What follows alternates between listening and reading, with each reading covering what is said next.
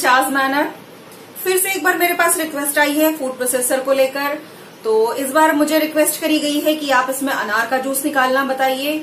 तो आज ये वीडियो अनार का जूस निकालने के लिए है। तो चलिए हम देख लेते हैं कि हमें अनार का जूस निकालने के लिए किन किन अटैचमेंट की ज़रूरत पड़ेगी। तो उसके लिए ये वाले अटैचमेंट की ज़रूरत होगी, जिससे कि हमने एप्पल जूस निकाला था प्रीवियस वीडियो में। और साथ में इसका ये छोटा वाला पुशर आता है जो, और इसके ऊपर की जो ये लिड आती है। तो इसके ऊपर की अलग लिड आती है, मैं आपको पहले बता चुकी हूँ। तो जो ये जार वाली लिड है, इसका यूज़ हम नहीं करेंगे। इसके ऊपर की लिड हम इसमें लगाएँगे। तो चलिए निकालते हैं अनार का जूस तो चलिए सबसे पहले एडजस्ट कर लेते हैं इसके पार्ट जिसे हमें अनार का जूस निकालना है। तो ये अनलॉक करने का बटन प्रेस करेंगे और इसको अनलॉक कर लेंगे ढक्कन को। और इसके अंदर की ये जो पार्ट है, इसका भी हमें यहाँ पर यूज़ नहीं करना, इसको निकाल कर अलग कर देंगे। ये जार के अंदर ही हम ये वाला पार्ट अटैच करेंगे, जिससे कि हम जूस निकालेंगे। इसको लगा दिया और इसके ऊपर की जो लिड साथ में मिली है, इसको लगा देंगे। इसको टाइट करेंगे तो यहाँ पर क्लिक की आवाज़ आएगी तो उसको आने के बाद ही समझिए कि ये फिट हो गया है।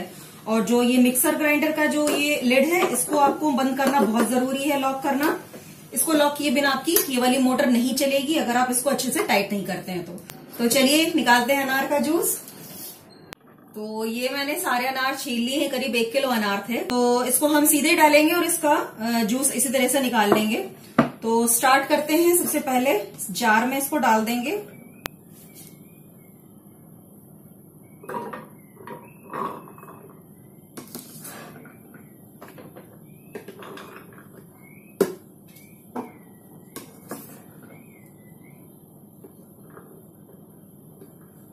तो ये देखिए, मैंने फिल कर दिए अनार के दाने जार के अंदर। थोड़ा सा खाली कर लेते हैं, इसमें ज़्यादा भर गया है। और अब इसको पुश करते हुए और ऑन कर देंगे इसको जूसर को।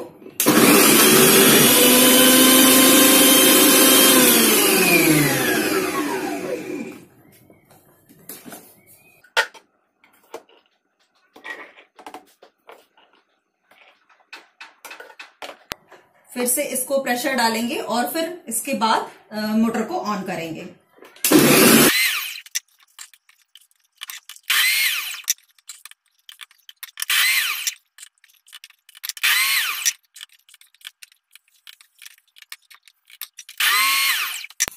तो अब मैं दिखाती हूँ आपको कि अनार का जूस कैसा निकला है।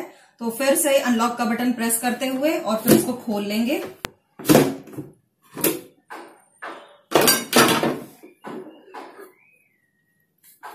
तो ये देख सकते हो आप इसमें कि एक सेकेंड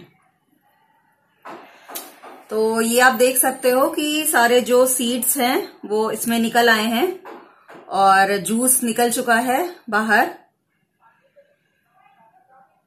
अभी ऐसा लग रहा है कि इसके अंदर थोड़ा सा पल्प और है जिसे जूस निकाला जा सकता है। तो एक बार मैं और ट्राई करती हूँ। इसको निकालने के बाद वापस इसको डालेंगे जूसर के अंदर। और देखते हैं इसका जूस और निकल रहा है कि नहीं पर पहले कंटेनर को खाली कर लेते हैं। और ये देखिए कितना क्लियर जूस निकला है। आ, आप देख सकते हो कि कितना क्लियर जूस निकला है जैसे मार्केट का आता है। उसी तरीके से एकदम पतला और बढ़िया जूस निकल गया। तो मैं इसको निकाल लेती हूँ और एक बार फिर से डालकर देखते हैं वाले बीज।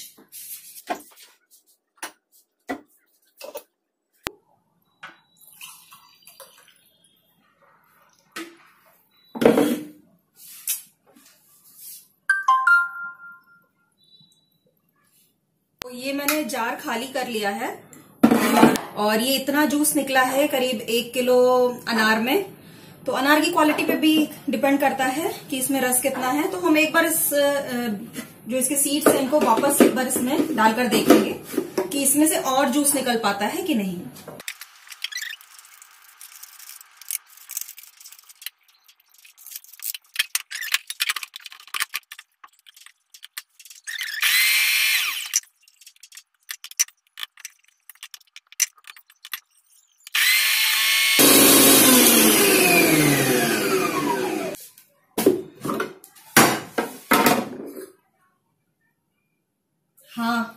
जूस निकल आया है इसमें से। तो ये देखिए आप, ये करीब इतना जूस और निकला है जो सीड्स हमने जो है निकाले थे फ़र्स्ट टाइम जूस निकालकर। तो ये मैं दिखाती हूँ आपको। ये जूस इतना था पहले और इतना जूस और निकल आया है। तो एक बार और चलाकर थोड़ा सा और निकाल सकते हो, क्योंकि फ़र्स्ट टाइम मुझे देखने में लग रहा था कि इसमें पल्प और लगा हुआ है। तो देखा आपने, ये करीब इतना डेढ़ ग्लास जूस निकल गया है एक किलो अनार में से। बहुत सेहतमंद होता है। जिनको अनीमिया होता है, खून की कमी होती है, उनके लिए बहुत ही ज़्यादा फ़ायदेमंद होता है। तो अभी निकालिए अनार का जूस और पीजिए, अपनी फैमिली को पिलाइए हेल्दी रहिए और हेल्दी रखिए सबको। फिर मिलते हैं एक नए वीडियो में। Thank you for watching